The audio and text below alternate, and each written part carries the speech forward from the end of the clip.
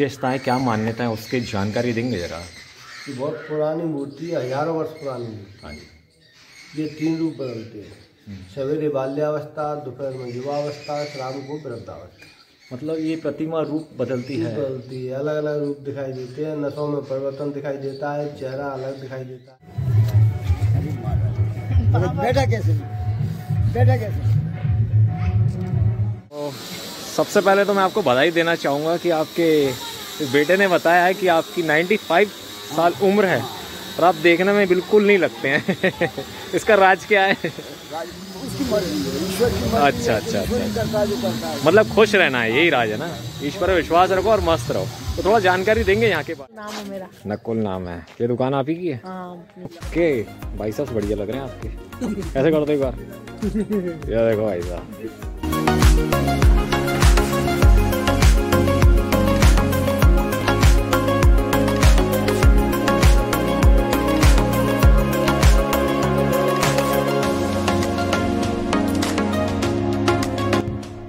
नमस्कार, मैं डेविड ग्वालियर आपका फिर से स्वागत करता हूँ अपने एक और नए वीडियो में। आज हम लोग घाटी गाँव में आए हैं और घाटी गाँव में एक गाँव है जिसका नाम है धुआँ। ये धुआँ का नाम कैसे पड़ा मैं आपको बताना चाहता हूँ। यहाँ पे एक प्राचीन मंदिर है, धुएँ के हनुमान नाम से। तो उस मंदिर को लेते हुए ये गाँव प्रसिद्ध हुआ और इस गाँव का नाम धुआँ पड़ा। तो प्राचीन मंदिर है यहाँ पर और हम लोग आज यहाँ पहुँचे हैं। इस मंदिर की खास विशेषताएँ मैं आपको ये बताना चाहता हूँ कि यहाँ पे जो प्रतिमा है हनुमान जी की, वह रूप बदलती है। काफ़ी सारी जानकारी हम लोगों ने जुटाई है इधर उधर से हम लोग को सुनने को मिला। तो आज क्यों ना हम लोगों ने सोचा आप लोगों के लिए वीडियो बनाई जाए। तो हम लोग आ गए हैं यहाँ पे। लेके चलता हूँ आपको अंदर। वीडियो में बने रहिएगा। सबसे पहले मिलाना चाहूँगा अपने वीडियो के हीरो से, हमारे पप्पन भैया हमारे साथ आए हैं, जो कि यहाँ बैठे हुए हैं थक के। काफ़ी लंबा सफ़र करने के बाद हम लोग यहाँ पहुँचे हैं। और यहाँ का ये मंदिर का परिसर है। साथ में हमारे मेहताब भैया भी हैं और अनुराग भाई भी, वो दिख नहीं रहे किधर गए। किधर है? अच्छा हाँ वो खड़ा उधर पे, वो देखो उधर पे। वो डॉग के साथ खेल रहा है। और ये मंदिर है इधर पर। ये यहाँ का मंदिर परिसर है। सामने एक विशाल पेड़ दिखने दिखेगा आपको जब आप यहाँ यहाँ पर आएँगे। और दूर दूर से काफ़ी सारे लोग आते हैं यहाँ पे दर्शन करने के। और पूजा की सामग्री के लिए एक स्टॉल है, वो भी आपको दिख जाएगा। सामने एक, यहाँ पे भी एक छोटा मंदिर है। और शुरुआत में आपको यहाँ पे ये शिवलिंग और नंदी के दर्शन करने को मिलेंगे। उधर पे भी हनुमान, नहीं, उधर गणेश जी की प्रतिमा है और वहाँ भगवान राम की और सीता जी की। तो कुछ इस तरह का नज़ारा है यहाँ का। ये शुरुआत में जो आपको देखने को मिलेगा। चलिए अंदर चलते हैं और दिखाते हैं आपको कैसा क्या दिखता है।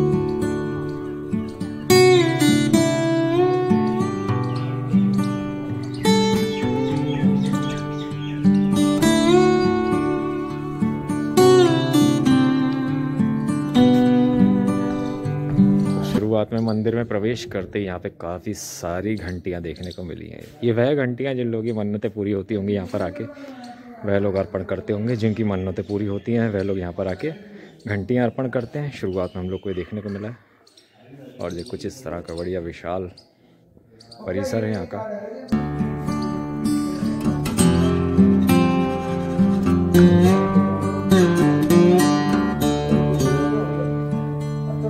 पे विराजमान है यहाँ के पुजारी। जी, और सबसे पहले मैं आपको दिखाना चाहूँगा ये प्रतिमा। आप हमारे वीडियो के माध्यम से दर्शन कर सकते हैं दोस्तों। ये देखिए।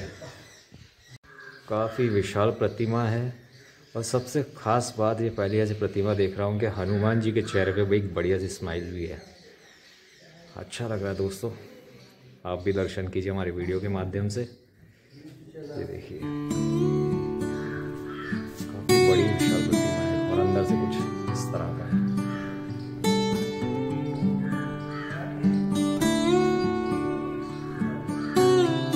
चलिए दोस्तों आपने हमारे वीडियो के माध्यम से हनुमान जी के दर्शन किए हैं और यहाँ पे मौजूद हैं यहाँ के पुजारी जी। इनसे कुछ बातचीत करते हैं और यहाँ की जानकारियाँ जुटाते हैं आप लोगों के लिए। तो नमस्कार पुजारी जी। तो हम लोग यूट्यूब पे वीडियो बनाते हैं और यहाँ पर आए हैं काफ़ी नाम सुना है इस मंदिर के बारे में। तो क्या विशेषताएँ क्या मान्यता है उसकी जानकारी देंगे ज़रा। बहुत पुरानी मूर्ति है हज़ारों वर्ष पुरानी। हाँ जी। ये तीन रूप बदलते हैं। सवेरे बाल्यावस्था दोपहर में युवावस्था शाम को वृद्धावस्था।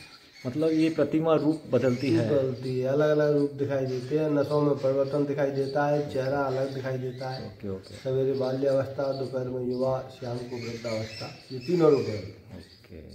तो अभी जैसा कि देखने को मिल रहा है दोस्तों ये युवा अवस्था में है। हाँ। बाकी आप वीडियो के माध्यम से देख सकते हैं साफ़ तौर पे।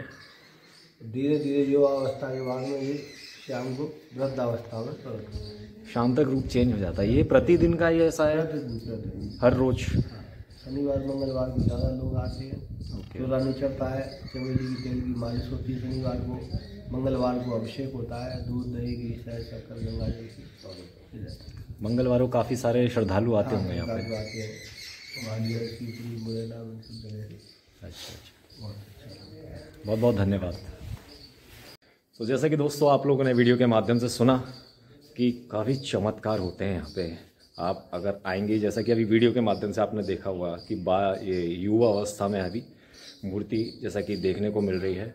शाम को अगर आएँगे आपको, आप तो वृद्धावस्था में दिखेगी या सुबह आएँगे तो बच्चों के रूप में हनुमान जी देखने को मिलेंगे। तो ये चीज़ मैंने काफ़ी लोगों से सुनी थी। आज यहाँ पर आया हूँ मैं आप लोगों के लिए वीडियो बनाने और साक्षात दर्शन कराने के लिए। तो और भी जानकारी जुटाते हैं, आसपास क्या है, क्या नज़ारे हैं, वो सब भी आपके लिए आज कैद करते हैं। तो चलिए दोस्तों, और आगे बढ़ते हैं। यहाँ पे और भी काफ़ी सारे मंदिर हैं, उनके दर्शन कराते हैं आप लोगों को। हमारे मेहताब भैया बता रहे हैं, यहाँ पे एक गिरिराज जी का भी मंदिर है, वो भी दिखाते हैं आपको। अनुराग भी आया था, जो देखने दिखा नहीं पाया था मैं आपको। यहाँ पे इसने एक नया दोस्त बनाया है, देखो ये रहा। हेलो ओई, बदमाशी नाई। बढ़िया है बढ़िया है बढ़िया है, मस्त है। अरे कैसे खेल रहा है? हे हे हे इसकी अम्मा आ गई दूर हो जाओ। दवा नहीं दे अपने को। तो थोड़ा हम लोग ये बड़ा सा एक कुआ है उसकी तरफ़ जा रहे हैं ये बावड़ी कहते हैं इसको। काफ़ी सालों हज़ारों सालों कहते हैं ना जैसे कि जब ये प्राचीन मूर्ति थी जब ये मंदिर बना तब के समय का है ये। और काफ़ी बड़ा ये पहाड़ के अंदर है। और अभी भी पानी से लबालब है दिखाता हूँ मैं आपको। ये काई जमी हुई है। ये देखिए इधर। अरे बाप रे। यहाँ पे एक पाइप जा रहा है इसके पानी को इस्तेमाल करते हैं लोग। उधर पे खेती हो रही है। शायद ये खेती वेती के भी काम आता होगा। ये।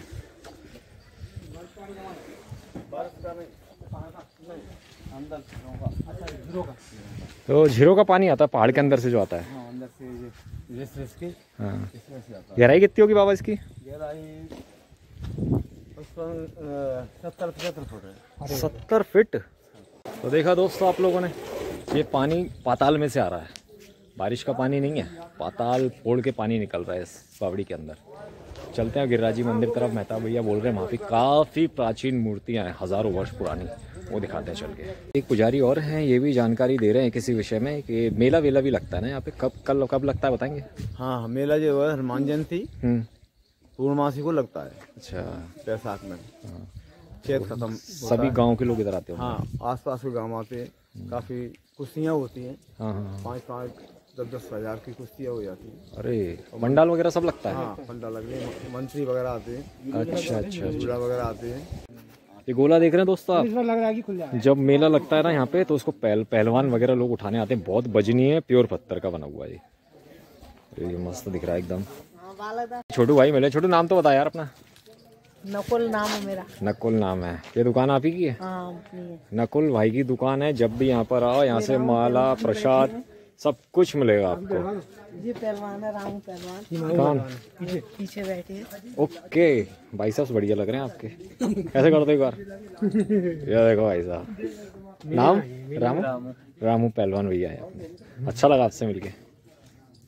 तो नकुल भाई कर रहे हैं गाइड का काम। हमें लेके चल रहे हैं अंदर। अंदर किधर इधर? अच्छा। क्या है वहाँ पे? गिरिराज जी का मंदिर जी पुराना मंदिर है पुरानी मूर्ति है। ओके। भागवत लगी हुई है अभी भागवत। अच्छा अच्छा अच्छा अच्छा। है। हो हैं। पाइपलाइन है ना? हाँ। तो भाग सकते हो आप ऊपर से? क्या बात कर रहे हो? अरे मैं चढ़ाऊँ बाबा भागाऊँ अरे। वो मस्त बनता है। मैं मैं भाग नहीं पाता लेकिन पहलवानों की कुश्ती होती है। क्या होती है? कुश्तियाँ कराई जाती है यहाँ पर। यहाँ पे।